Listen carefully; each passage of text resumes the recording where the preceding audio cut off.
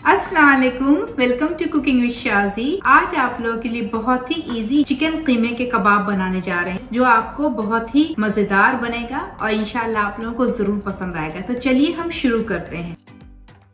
Half के जी chicken का खीमा है। Two tablespoon chicken tikka का मसाला हमने लिया है। ये मेरे घर का बना हुआ है। ये वन टी स्पून नमक है। आप नमक अपने हिसाब से डाल देंगे one tea spoon garam masala है। One teaspoon crush chilli है। वन टी स्पून कश्मीरी लाल मिर्च। मिर्च आप अपने हिसाब से चेक कर लेंगे। ये दही है। वन टेबल स्पून ड्राई दही लिया है। टू टेबल स्पून बेसन है। इसको हम रोस्ट कर लिया है। ये हरी मिर्च और लाल मिर्च है। ये वाली हम डाल रहे हैं। तो ये ज़्यादा तीखी नहीं होती है। तो हम डाल रहे हैं। अगर आपको मिल रही है तो डाल दें, वरना इसमें आप लाल मिर्च फ्रेश जो होती है वो थोड़ा डाल दें। हाफ़ टमाटर हमने चॉप्ड कर लिया है। वन टेबल स्पून लहसन अदरक है स्प्रिंग अनियन है। प्याज जो होती है स्प्रिंग अनियन हरी प्याज। वो हम एक पूरा प्याज काट लिया है और ये हम उसमें डालेंगे, आपको दिखाएँगे। वन हैंडफुल हरी धनिया है। वन टेबल स्पून ये हमने फ्रेश पुदीना लिया है। अगर फ्रेश पुदीना नहीं है तो आप ड्राई भी डाल सकते हैं। तो चलिए हम बनाना शुरू करते हैं। तो चलिए मिक्स करना शुरू करते हैं। चलिए इसे इस तरह से मिक्स कर लें और उसके बाद डालते हैं। ये मसाला जो हमने डाला, ये डाल रहे हैं। बहुत ही आसान और जल्दी बनने वाला है। अगर आपके पास कीमा बना हुआ है तो बहुत जल्दी बनता है ये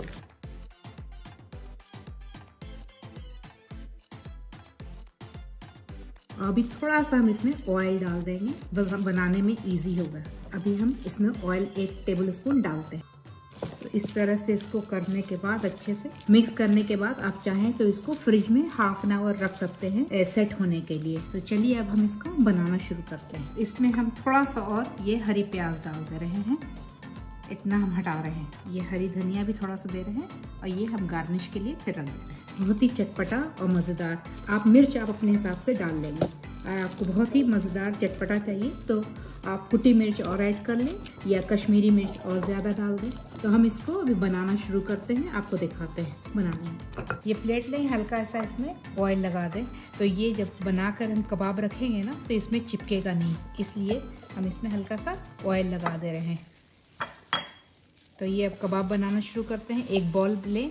आपको जिस साइज़ का बनाना है, छोटा या बड़ा, इस तरह से लें। इस तरह से बॉल को लें, इस तरह से।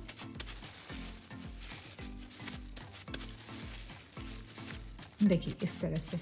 और ये बनाने के बाद ना आप इसे, आप चाहें तो हाफ़ कुक करके, तल के हल, हल्का सा फ्रीज कर सकते हैं। एक से दो महीना आराम से।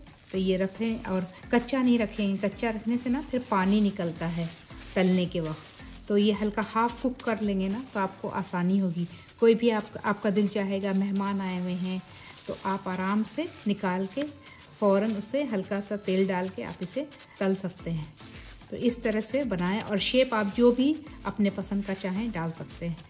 तो इस तरह से सब बनाते जाते हैं हम और फिर आपसे हम पूरा जब बना लेते हैं कबाब तो मिलते हैं। तो ये देखिए पूरे कबाब रेडी हो गए हैं। इसको हम अगर आप चाहें तो हाफ़ एन आवर फ्रिज में रख दें तो अच्छे से ये सेट हो जाएगा। पैन चढ़ाया है हमने, उस पर हम ऑयल डाल के इसे तलते हैं। हमने पैन चढ़ा दिया है, इस पर ऑयल डालें। दो से तीन टेबल स्पून एक और डाल दें। थ्री टेबल स्पून हम ऑयल डाल रहे हैं। तो ये जब अच्छी तरह से गर्म हो जाए, देखिए इसको ऐसे कर सकते हैं। हमने थ्री डाला है, देखिए इस तरह से।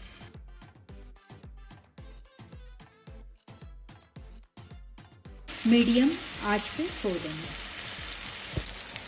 ये अभी हम इसको टच नहीं कर रहे हैं, बल्कि हल्के हल्के इसे हिला सकते हैं और आहिस्ता इसे चेक कर सकते हैं किसी ये इस तरह से देखिए इसे। देखिए इस तरह से।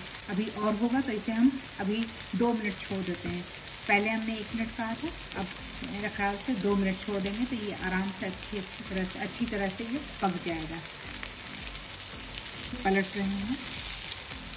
देखिए इस तरह से।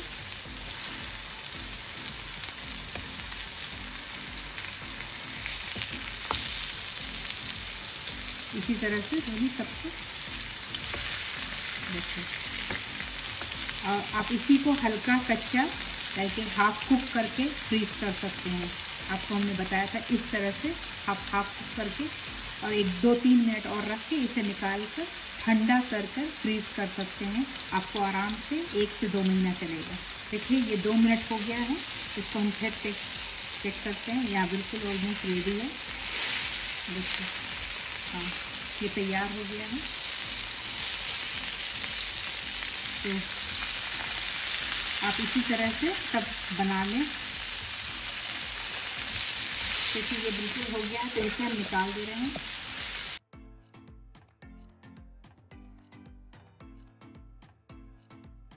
इसी में हम ये जो बचे हुए हैं, ये डाल दे रहे हैं साइड में।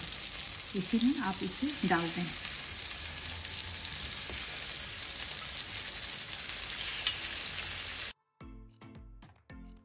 ये सब हो जाता है, फिर आपको हम सर्व करके दिखाते हैं। रेडी हो गया है? देखिए ये दूसरा बैग भी रेडी हो गया है।